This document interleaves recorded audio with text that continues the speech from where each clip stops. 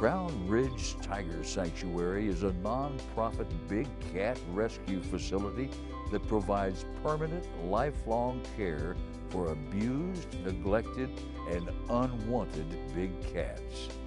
Crown Ridge strives to maintain the animal's integrity by providing exceptional physical and mental care.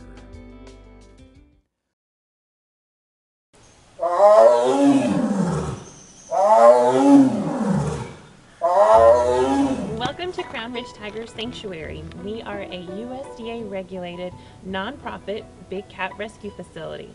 So it's our job to rescue animals that have been abused, neglected, or are in unwanted homes, and we bring them here to the sanctuary to provide them with lifelong care. Our mission is to give animals a voice by advocating for the conservation of them in the wild and then making sure that they are kept under the best conditions here in captivity. We definitely want to educate the public um, about these animals and the plight of them. So we do lots of educational tours here at Crown Ridge Tiger Sanctuary for both adults and for kids to let people know that these guys are extremely endangered and how they can help us and help our mission. Our current collection consists of four animals. We have three tigers and one feisty lioness. She doesn't let being the lone lion bother her at all. Um, all of these guys, with the exception of one tiger, were rescued from a place called Exotic Animal Paradise just outside of Springfield.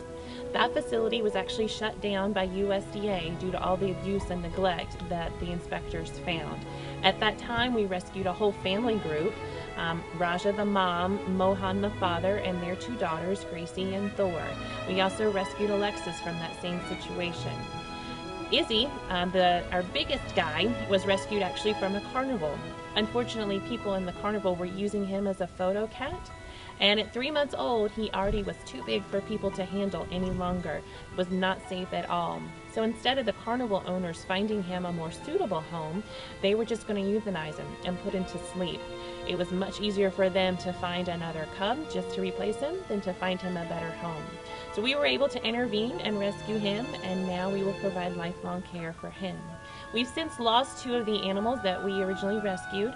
Raja, we lost at the age of 22, which is very old due to cancer, and Mohan, who we lost at age 20, uh, we lost him due to old age. So we do plan to continue our rescue efforts though. We do have 55 acres here and we would love to expand and um, further our efforts. So when you come to visit Crown Ridge Tiger Sanctuary, you'll notice that most of our animals are housed individually, and that's because tigers are solitary. So when tiger cubs are born, they only stay with their moms till they're about 18 months old. Then they're capable of living on their own. They can make a kill, they can hunt, and they can survive all by themselves. So they go off and lead a solitary life. Even though our animals are here in captivity, we want their lives to be as most naturalistic as possible. So we house our animals individually because that is what comes natural to them and what they prefer. However, there's exceptions to every rule, and we do have one of those exceptions here at the sanctuary. We do house two of our animals together, Thor and Gracie, most of the time. That is because they have a really special circumstance, though. When we rescued Thor and Gracie, they were five years old. They had never been separated from each other and were very used to being together. In fact, they had they were a bonded pair almost. Gracie is 95% blind, and Thor was actually taking care of her um, from a number of different ways. One of them was by making sure that um, she had enough food.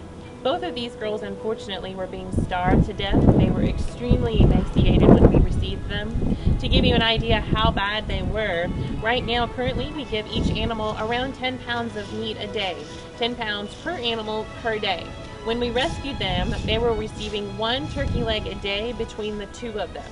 You know, that's not enough to feed me, much less two adult tigers at that point. Then we learned that Thor was actually um, not eating at all and giving all of the food to Gracie. So without Thor doing that, Gracie probably would not have even made it given her disability. Thor made sure that Gracie was fed. She also um, snuggled with her to make sure she kept warm. And between the two of them, um, that, that was enough and they survived together.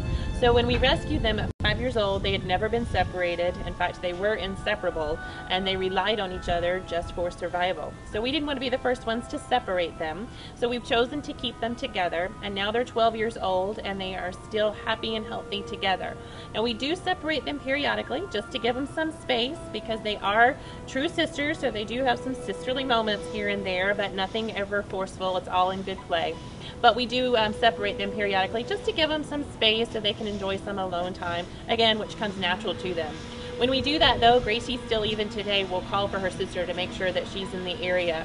And although Thor gets to eat her own food now and is quite happy to take food away from Gracie at this point because they're so comfortable, she does make sure that Gracie's always in a safe place. So when we shift animals from stall to stall, Thor always goes through first to make sure it's safe and she'll turn around and make sure that Gracie's following behind her.